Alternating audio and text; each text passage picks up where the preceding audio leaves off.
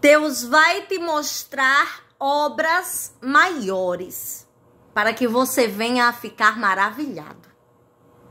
A palavra do Senhor vem nos dizer que o Senhor, ele nos mostra obras maiores para que nós nos maravilhamos com o poder dele.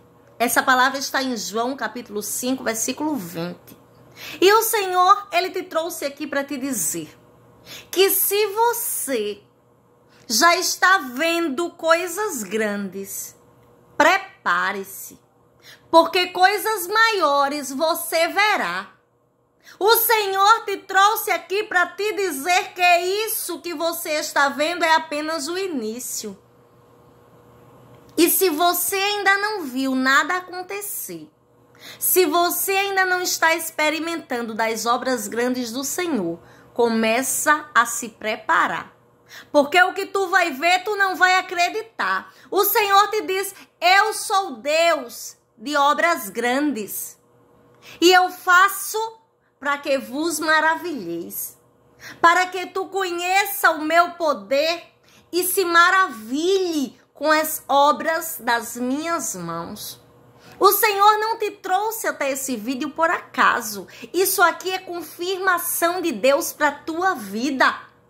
Porque você estava ou está passando por momentos difíceis.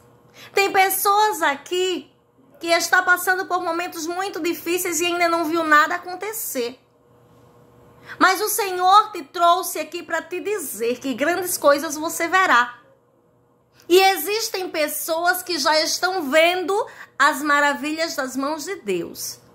Mas o Senhor te trouxe aqui para te dizer que isso é só o início. Dá glória a Deus aí do outro lado, porque isso aqui é uma confirmação de Deus para tua vida neste dia.